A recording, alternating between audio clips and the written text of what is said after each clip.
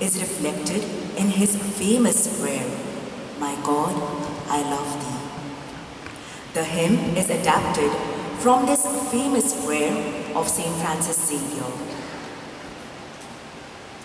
Because you loved us, Lord.